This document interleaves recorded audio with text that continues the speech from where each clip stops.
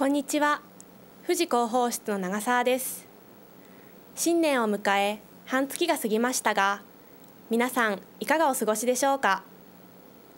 三が日は富士山がくっきりと見え2016年の門出を祝ってくれました。今年もさまざまな姿の富士山を見たいですね。それでは富士市からのお知らせです。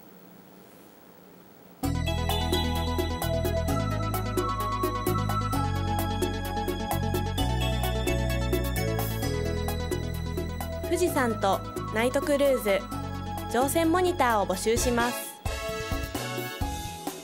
オーシャンプリンセス号を利用したナイトクルーズに乗船し田子の浦港からの工場夜景を楽しんでみませんか？日時は3月4日金曜日と5日土曜日の各18時からと19時15分からの計4回です。なお乗船時間を選ぶことはできません。対象は市内在住でアンケートに記入していただける人で定員は各回70人。ただし応募者多数の場合抽選になります。参加費は無料です。お申し込みは2月10日水曜日までに住所振り仮名を振った氏名年齢性別電話番号乗船日を記入しはがきまたはファクス E メールで郵便番号416-0939川成島654-10富士山観光交流ビューローまでお願いします。なお1枚につき2人まで申し込みできます。お問い合わせは富士山観光交流ビューロー。電話64の3776ファックス番号62の0464ご覧の E メールアドレスへお願いします。中央病院形成外科の紹介状制導入についてお知らせします。1月から中央病院の形成外科の診療体制を維持するため紹介状制を導入しました。大変ご迷惑をおかけしますが次のことをご理解いただきますようお願いします。形成外科の診察を初めて希望する人はまず近隣の医療機関を受診し当院での検査や入院治療が必要とされた場合当院への紹介状を持参し受診してください。紹介状をお持ちでない人は他院での受診をお願いしています。お問い合わせは病院総務課電話52の1131内線2216へお願いします。個人参加公共施設見学参加者を募集します。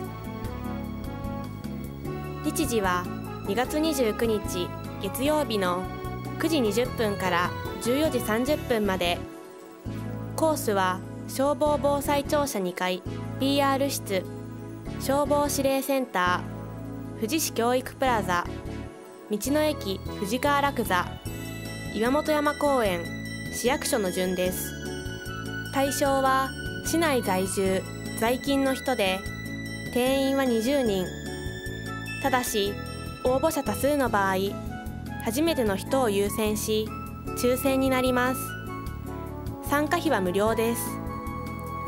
お申し込みは2月8日月曜日の18時までに電話またはファクスに参加する人の住所振り仮名を振った氏名年齢電話番号今までの参加の有無2月29日見学希望を記入し教えてコール富士公共施設見学係電話53の1111ファクス番号51の0623へお願いします。なお1回につき2人まで申し込みできます。お問い合わせは広報校長課電話55の2736へお願いします。富士本町軽トラ市を開催します。日時は2月14日日曜日の9時30分から13時まで富士本町商店街で行います。内容は軽自動車による地元の新鮮な野菜や果物食品雑貨などの販売太鼓演奏お楽しみイベントで富士本町のご当地キャラロペティも参加します。ぜひお越しください。なお当日は9時から14時まで交通規制を行います。ご協力をお願いします。お問い合わせは商業労政課電話55の2907へお願いします。第12回市民公開講座がん治療最前線切らずに治す放射線治療を開催します。日時は2月14日日曜日の14時30分から17時30分までロゼシアター小ホールで行います。内容はがん治療の最前線体に負担の少ない放射線治療であるサイバーナイフに関する基礎知識と治療法についてです。講師は春日井サイバーナイフリハビリ病院総院長の高橋博さん。日本赤十字医療センターサイバーナイフセンター医師の佐藤健吾さん。山梨大学医学部放射線医学講座教授の大西博さんです。定員は300人で先着順。受講料は無料です。お申し込みは当日直接会場へお越しください。お問い合わせは病院総務課電話52の1131内線2216へお願いします。2月の市役所休日会長についてお知らせします。会長日時は2月7日日曜日の9時から16時までです。会長窓口は市民課収納課国保年金課です。なお休日で閉庁している関係機関に関連する業務についてはその日のうちに手続きできない場合がありますので事前に電話などで確認してから来庁することをお勧めします。各休日受付窓口のお問い合わせ先は市民課電話55の2747収納課電話55の2730国保年金課電話55の2751へお願いします。富士市コールセンター教えてコール富士をご利用ください。印鑑証明や住民票を取るために市役所へ持っていくものは今週末市が主催するイベント情報を教えてなどあなたのちょっとしたお問い合わせに専門のオペレーターがお答えします。受付時間は8時30分から18時まで。年末年始を除き土曜日日曜日祝休日も受け付けています。市役所のことでどこに電話をかけていいか担当がわからない。そんな時はぜひ富士市コールセンター教えてコール富士電話53の1111をご利用ください。今回の富士広報室は富士市からのお知らせをお送りしました。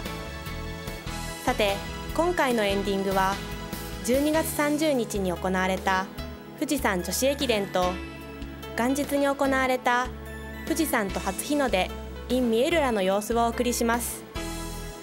富士山女子駅伝では初めて富士市にゆかりのある3選手大阪学院大学1年の水口ひとみさん静岡学生選抜として日本女子体育大学3年の白鳥千秋さん大阪学院大学1年の金子結衣さんが出場し沿道の応援を背に快走を見せてくれました。また富士山と初日の出 in ミエルラでは573人が市役所の屋上を訪れ初日の出を拝んだり美しい富士山を写真に収めたりしていました。その模様をご覧ください。それでは富士広報室はこの辺で。